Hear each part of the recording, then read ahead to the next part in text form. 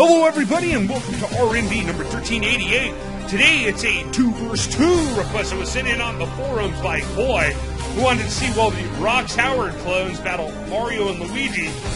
Maybe it's more than a two verse two, however, well, Mario and Luigi.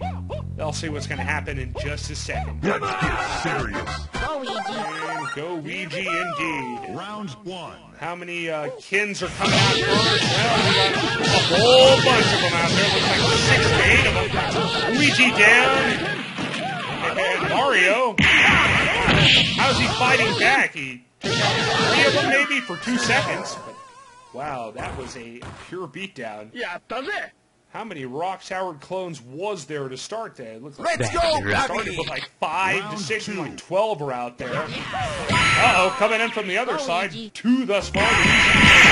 Star now there's got to be about well, just one, and two, three, four, five, six of them out there thus far.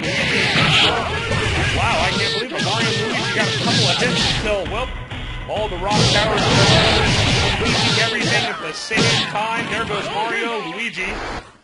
His ghost back, but wow, that was pretty pointless. Luigi comes crashing down hard on his head, and the Rox Howard clone army scores yet another victory here, folks. I certainly hope everybody enjoyed that brief battle. Up next, it'll be request number 1389, a Pinkie Pie request.